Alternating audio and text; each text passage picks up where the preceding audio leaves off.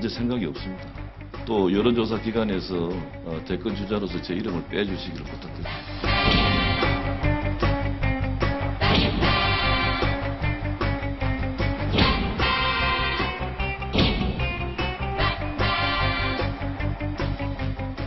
저는 70 넘어서까지 서로 진입하는 정치는 절대 할 생각이 없습니다. 제 스스로 대권은 자격이 없다고 생각하는 사람입니다.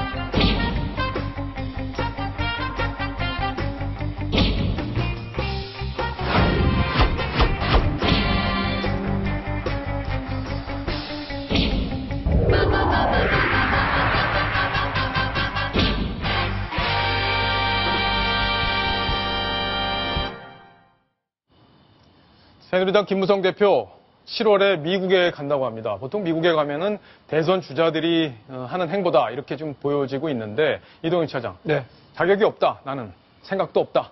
근데 미국은 간다. 자 이것 때문에 조금 정치권에서 말들이 나올 것 같습니다.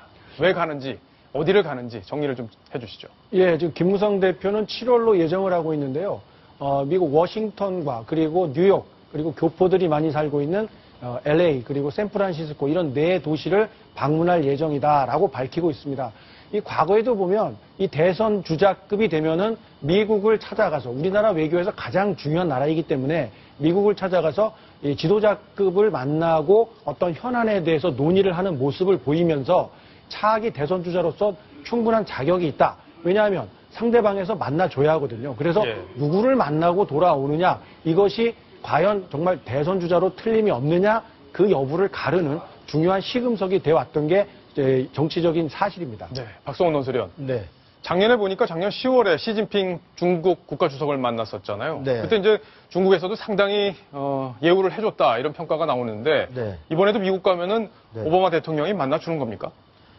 그 국가 정상을 만나는 문제는 우리가 쉽게 그 일정을 오픈하지 않는 거기 때문에 아마 예. 네, 에, 봐야 되겠지만 뭐 다각도로 현재로는 뭐 당으로서는 아 김무성 대표로서는 원하는 바 같습니다. 그리고 아마 여러 가지를 알아보고 있겠지만 아 그 만나느냐 안 만나느냐는 단순히 여당 대표라서가 아니라 그 나라의 유력한 차기 주자냐 이것에 따라서 대부분 보면 주요 국가에서 어떤 그 여당 대표를 만나고 안 만나고 예. 결정할 때 그런 것을 참고합니다.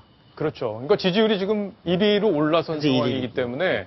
뭐 유력하다고 본다면 네. 뭐 대통령도 만나줄 수 있고 그렇습니다. 우방국에. 또 여당 대표가 하니까 예. 뭐 만나줄 명분은 있습니다. 예. 그렇군요. 근데 최근에 이렇게 지지율이 많이 올랐는데 결국에는 김우성 대표의 어떤 특이한 스타일 때문에 이렇게 지지율이 올랐다 이렇게 좀 분석이 되고 있잖아요. 네. 어떻게 보세요 개인적으로는?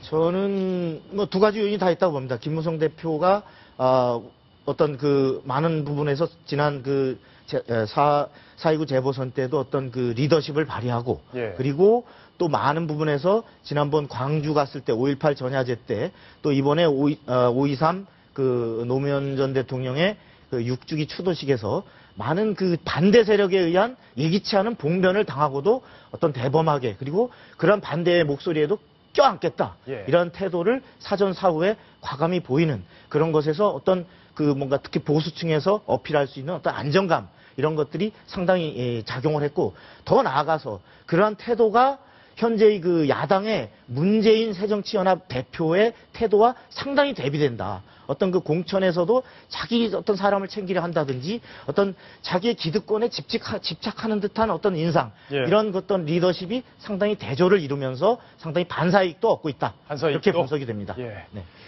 어쨌든 좀 통이 커 보인다. 국민들한테 지도자로 보이는 어떤 그런 측면, 그런 게 어필이 돼서 지금 지지율이 오르고 있는 건 아닌가 싶은데 시청자 질문이 왔는데 보고 가겠습니다. 자, 이번 질문 여상훈 변호사께서 답을 주실 수 있을까 하는데 고개를 갸웃하셨습니다. 본인은 대통령감이 아니라고 하지만 여건과 상황이 되면 대선 출마 안 할 수 없는 것 아닌가요? 글쎄요, 저도 이게 궁금하네요. 김무성 대표는 뭘 두려워하는 걸까요? 왜 도대체 안 하겠다고 하는 건지, 자격이 없다고 왜 그러는 건지, 뭔가 두렵기 때문에 그런 거 아니냐 이렇게 보시는 것 같고, 본심이 뭔지. 그게 뭘까요? 한 고조 유방이 어떻게 했습니까? 젊을 때 예. 불량배의 다리 밑을 기어갔습니다. 네. 그러니까 아무도 그 사람을 경계를 하지 않는 거죠. 네. 예? 그러니까 김무성 대표 지금 행보도 제가 볼 때는 일찍 대권 후보라는 타이틀을 달아봤자 계속적인 공격과 시비만 일으키지 그럴 필요가 없다는 거죠. 네. 어차피 대선 후보라는 게 본인이 하고 싶다고 하고 안 하고 싶다 안 하는 게 아니거든요. 어떤 시류에 따라 만들어지는 거기 때문에 김무성 대표서는 이 무대라는 이름을 잘 아시지 않습니까? 이게 바- 저기 어디죠? 방금년하고 나오는 네. 그 네. 거기에 소지. 아예 수호지에 예. 아주 그냥 아무거 가진 거고 특색 없는 거기 잘 갖다 붙인 것 같아요. 예. 그래서 저는 김무성 대표의 지금 행보는 만일에 본인이 대권 꿈을 가졌다면 적절한 행보다 예. 저는 그렇게 판단합니다. 저도 개인적으로 뭐 김은성 대표하고 얘기할 기회가 예전에 이제 국회 출입할 때 여러 번 있었는데 이런 말을 또 한 적 있죠. 나는 직설적이다. 복선이 깔리면 복잡해진다. 머리가 복잡해진다. 머리가 좋지 않다. 이런 얘기까지 하시고요.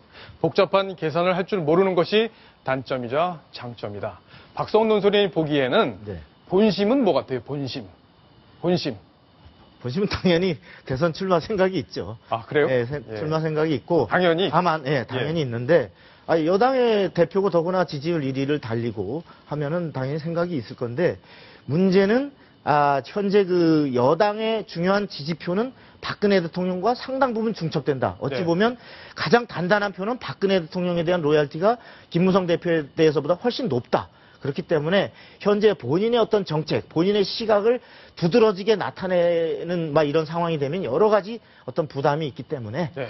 어, 로키 로 계속 가고 있지 않나 예. 그런 생각이 듭니다. 이분은 왜 스스로 머리가 좋지 않다 이렇게 생각하시는지 참 네. 이게 저도 이해가 잘 안 되는 부분인데 아니, 이 얘기를 평소에 이렇게 스스럼 없이 잘 하시더라고요. 머리 좋다고 하는 사람 누가 좋아하는 사람 봤습니까? 예. 예. 그것도 전략이다. 겸손. 예. 그렇죠. 겸손이죠. 아무리 머리 좋은 사람도, 아, 저잘 모릅니다. 이러면, 아, 저 사람 좋아하는데. 네. 별로 똑똑하지 않은 사람, 나 머리 좋다 그러면 다 싫어하죠. 예. 예, 그 말씀 듣고 보니까 이유가 다 있었네요. 자, 김무성 대표가 정말 대선에 꿈이 있을지 없을지 김무성 대표 본인만이 알 텐데 7월 방미를 추진하고 있다는 이야기, 그 속내까지 저희가 자세히 한번 분석을 해드렸습니다.